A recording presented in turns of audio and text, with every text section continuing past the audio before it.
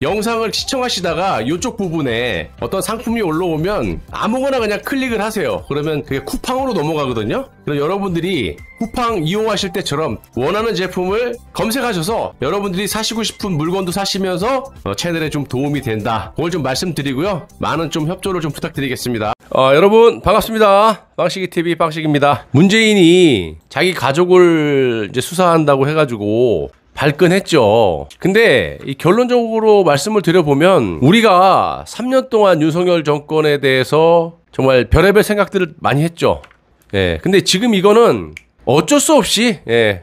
공격이 들어오니까 본인도 살아야 되기 때문에 어쩔 수 없이 지금 수사를 할 수밖에 없어요. 의대 증언으로 인해서 엄청나게 지금 코너에 몰려 있는 상황에서 별 쓸 수 있는 카드가 없는 상태 아닙니까?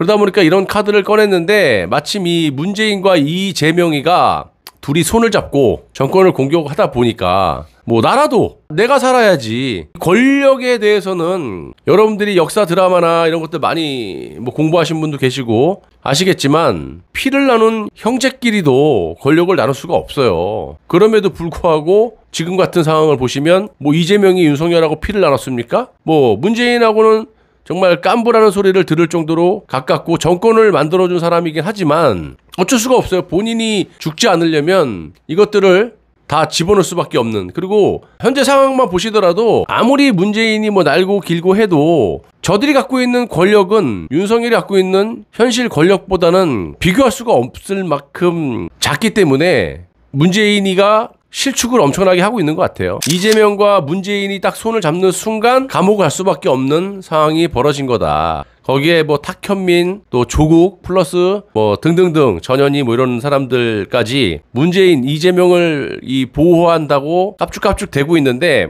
아마 이재명 문재인보다 그런 것들 먼저 치지 않을까. 어. 그러니까 쟤네들이 지금 뭔가 착각을 하고 있는 것 같아요. 이럴수록 지금 보수가 더 결집을 하겠죠. 이 보수 진영에서 이재명, 문재인을 좋아하는 사람이 어디에 있겠습니까?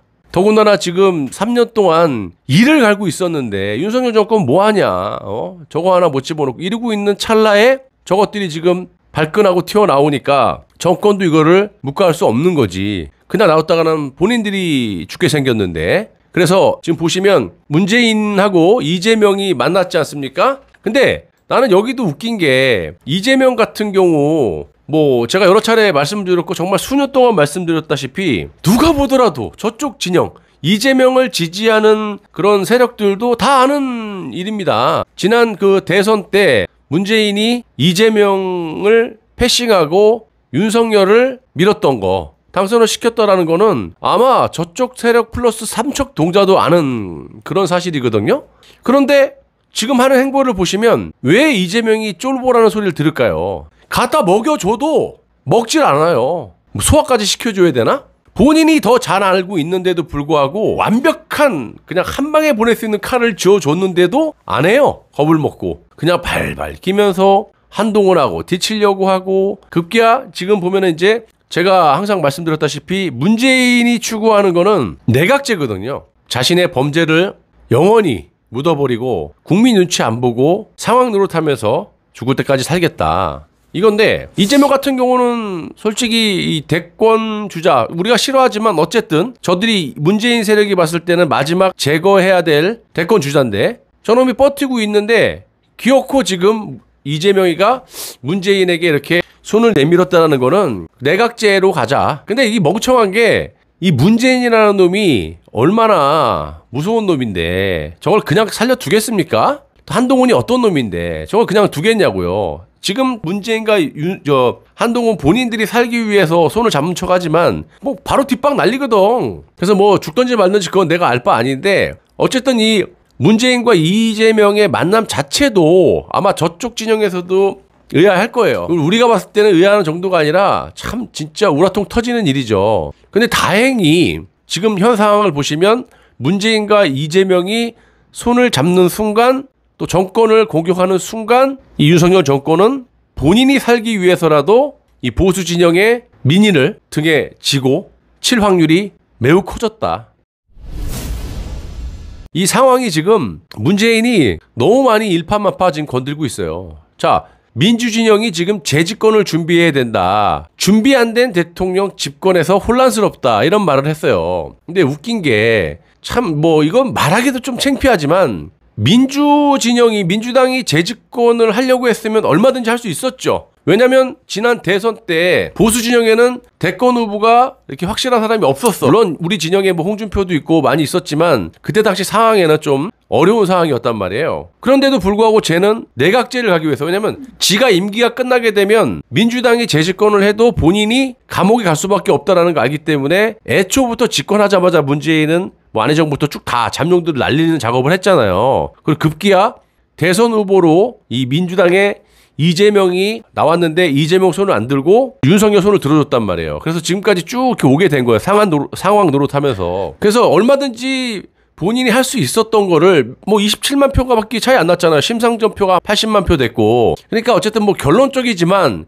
그 과정을 보시면 얼마든지 마음만 먹으면 될 수 있었던 상황이었는데 지금 와갖고 이런 햇소리를 하고 자빠진 건데 준비 안 된 대통령 집권에서 혼란스럽다라는 거 이것도 진짜 웃기죠. 아니 본인이 중앙지검장, 어? 검찰총장, 그리고 추미애하고 막 싸울 때, 어? 추미애 날리고 윤석열 살리고 그래서 보수에다 꼽아놓고 대통령을 만든 놈이 문재인 아닙니까? 그건 이재명 지지자도 알고 좌우가 다 아는 삼척 동자도 아는 그런 상황인데 그런 일인데 그거를 지금 국민들을 바퀴벌레로 봤으면 이딴 소리랍니까? 윤석열 대통령을 누가 만들었니?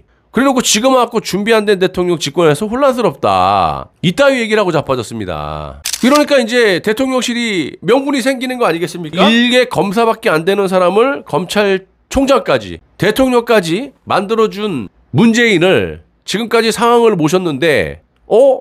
나를 치네? 내가 이렇게 죽으면 안 되지. 이런 상황이 벌어지는 거예요. 그러니까 지금 대통령실이 바로 오늘 전 정권, 그러니까 문재인 정권이잖아. 문재인 네 스스로가 자신을 좀 되돌아봐라. 이렇게 나오는 거예요. 그러니까 칠 수 있는 명분을 이재명, 문재인이가 윤석열 정권에 준 겁니다. 그러니까 쉽게 얘기하면 나의 지지율은 떨어지고 내 임기는 벌써 절반을 턴을 넘었고 야 이대로 가다가 나 임기 끝나면 죽는데 어떡하지 어떡하지 아니 그 전에 죽을 수도 있는데 그러고 있는 찰나에 이 문재인이하고 이재명이 명분을 주니까 아 잘됐다 이 보수 진영에서 이재명 윤석열을 치게 되면 얼마나 좋아하겠습니까? 잘 걸렸다. 니네 죽어봐라 이거야. 자 그래서 대통령실이 기재들하고 만나가지고 소득 주도 성장을 포함해 경제 파탄, 원전 생태계 파괴, 외교 파탄, 재정 파탄을 냈다는 지적을 받았다는 점을 다시 한번 상기해라. 어? 국가 부채를 400조 원을 늘렸다는 점. 뭐 이런 것도 좋지만 저는 솔직히 얘기해서 지금 한동훈이가 이 문재인 이재명에 대해서 입을 딱 쳐닫고 있지 않습니까? 근데 여러분들 뭐 삼척 동자도 알고 있지만 문재인이 지금 뭐 소득 주도 성장 뭐 400조 원 부채를 늘리고 뭐 이런 거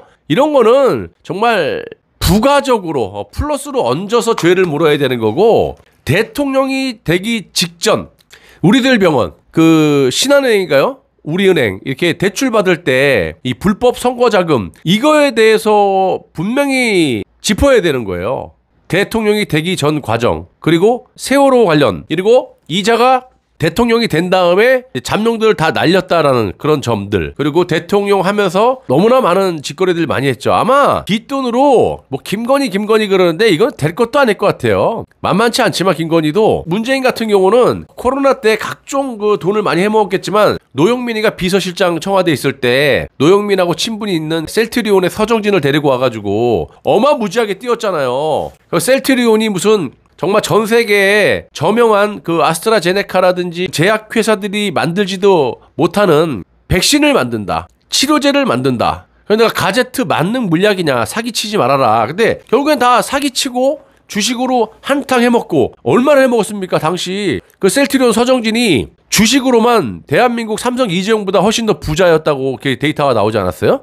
그러면 셀트리온을 띄워준 게 문재인이었는데 노영민하고 청와대에서 띄워줬는데 그럼 뒷돈으로 안 받아 먹었겠어요? 이렇게 대놓고 문 다해 어 다해 전 남편 2억 5천 2억 5천 막 다해 먹고 지금 와고 뭐 빌린 돈이다 햇소리를 삐약삐약 해대고 있는데.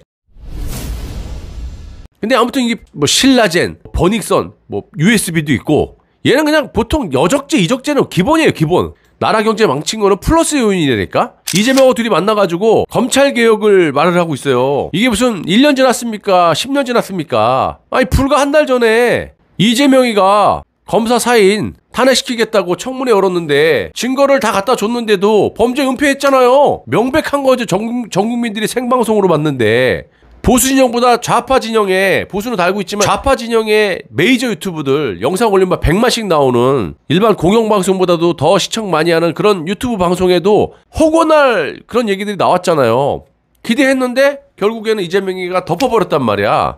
걔는 뭐 정청래 핑계를 대지만 아니 법원에 증거 자료까지 다 줬잖아. 뭐에 위증교사 밝히겠다고. 근데 그런 거는 하나도 핵심적인 거는 밝히지도 않으면서 무슨 불륜이 있단 헛소리들이나 하고 자빠졌고 범죄를 덮었잖아요. 그러니까 검찰 개혁의 거의 뭐 99.9%가 아니라 100% 입증을 하는 이 법원의 판결문과 각종 수많은 증거들을 다 확보를 하고도 전 국민들이 보는 청문회 생중계에서 다 덮어버렸단 말이야. 그래놓고 지금 와갖고 또 국민들을 멍멍이 봐. 이거 좌파들이 이거는 그냥 묵인해서는 안 되는 거예요. 본인들도 봤잖아요. 저것들이 범죄를 은폐하는 걸 봤잖아 청문회 때. 검찰 개혁 검찰 개혁 하면서. 근데 지금 문재인 만나갖고 이재명이 또 검찰 개혁을 얘기를 하고 답받았어. 그러면 저들이 보수 국민들을 우습게 보는 거는 그냥 그렇다 치더라도 지들을 지지하는 좌파 국민들까지 지금 멍멍이로 보는 거 아니냐고요. 검찰개혁, 검찰개혁에서 증거를 다 갖다 주고 검찰을